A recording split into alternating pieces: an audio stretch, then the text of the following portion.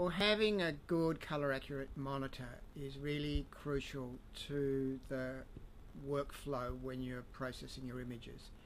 And having real colors that you can track from camera to screen to print is critical when you want the emotion of the picture to really come through because the color is critical to that.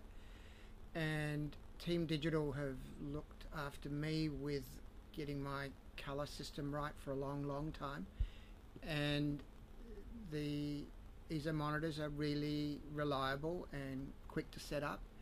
Um, I tried using smaller monitors and I went up to bigger monitors. Now I've got two decent sized monitors and it's really comfortable working like that. Um, recently I had an exhibition in Dubai at a, at uh, a gallery called the Empty Quarter and I'm sending images there to be printed on their color processing stream having tested them here using the same papers. And it was really satisfying to go there see the exhibition hung printed on their reliable setup again using good screens and um, have the color work out just perfectly so really you can't go better than having good color monitors and EIZO's the ones that are most reliable